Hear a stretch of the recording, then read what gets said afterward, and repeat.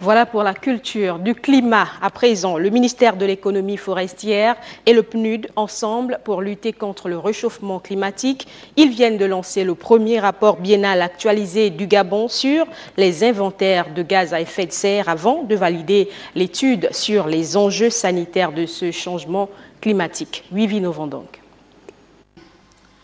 Santé et changement climatique, deux notions mises en relation dans cet atelier de validation.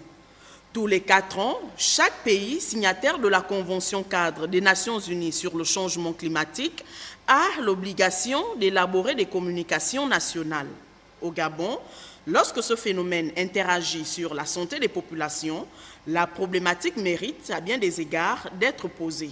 Voilà les deux principaux facteurs explicatifs qui sous-tendent le choix du thème de cette communication, la troisième du genre. C'est quoi une communication nationale? Ça, on en discute souvent. C'est l'instrument qui permet, à la demande, bien sûr, de la Convention, de la communauté internationale, donc qui permet au pays de communiquer sur le niveau d'émissions nationales, donc par tête d'habitant, en tonnes équivalent carbone, et les mesures prises pour en minimiser les effets. À côté des données d'inventaire, nous avons les études sur l'adaptation.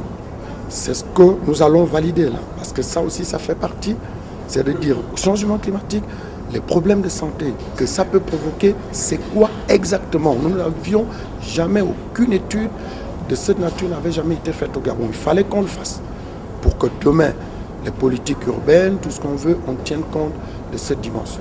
Parallèlement, la préparation du premier rapport biennal actualisé du Gabon sur les inventaires de gaz à effet de serre est entamée. La présente étude nous permettra à tous, acteurs du développement durable, de mieux orienter nos choix d'urbanisation et d'aménagement urbain en tenant compte de l'aléa changement climatique afin de préserver la santé de nos populations. Pour y parvenir, notre préalable est d'une part de disposer d'une bonne connaissance du taux d'émission de gaz à effet de serre par notre population et d'autre part de proposer des mesures d'atténuation adéquates. À rappeler que ces projets bénéficient d'un financement du Fonds pour l'environnement mondial.